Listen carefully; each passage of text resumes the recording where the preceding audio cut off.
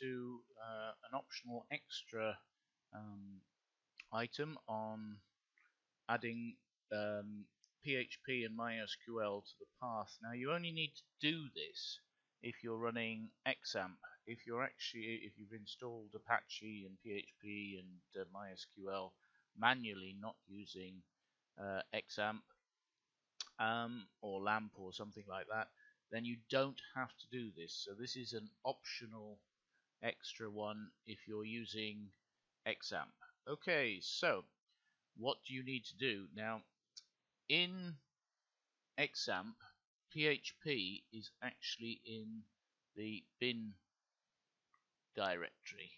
Okay, and if you look for which PHP, it won't actually show.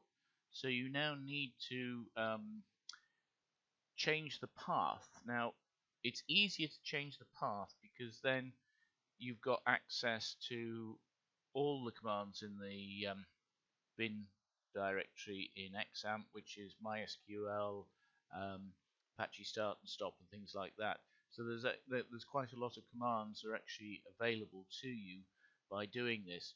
Now I'm going to do this using um, gedit because it's just a little easier to see.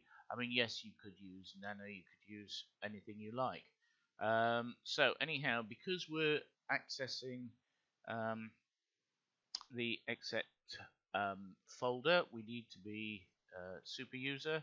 So it's super user G.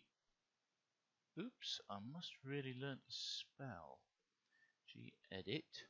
Okay, and then the item we want is in a folder called environ sorry in a, a file yeah in a file called environment okay? And in here you have the the path. So if I do that you'll see you have the path. Your path is all listed. This is what you'd get if you actually typed in um, uh, another one. So if we actually type in echo and then path. Okay you would actually get that out. Okay so we want to, to run this and so okay. Now to add a path to the end you put a colon okay?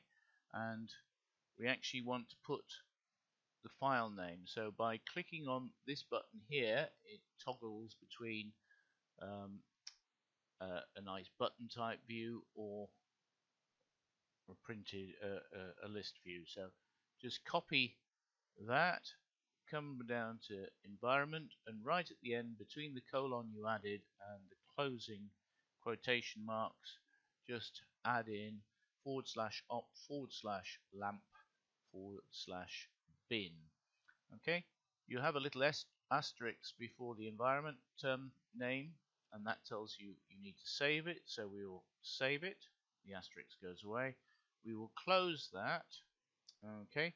Now you do need to restart Linux so we'll go away and do that. And then we'll come back and uh, show you that it's all working.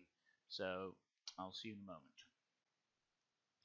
So we're now back and as you can see uh, here clear. So if we put in echo colon path, you'll now see that opt lamp bin is in the path. And if we actually type in which PHP, okay, it tells us it's actually in.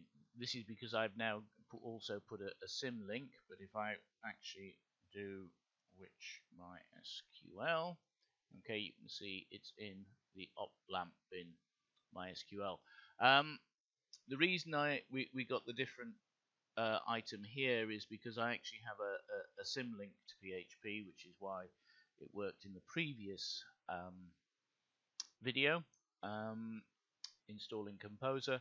Um, but I recommend that if you are using XAMPP that you put in oplamp bin okay into the path variable as I showed you and then you have access to MySQL uh, as well. So for example, I can type in MySQL, and as you can see, I've got the MySQL command line.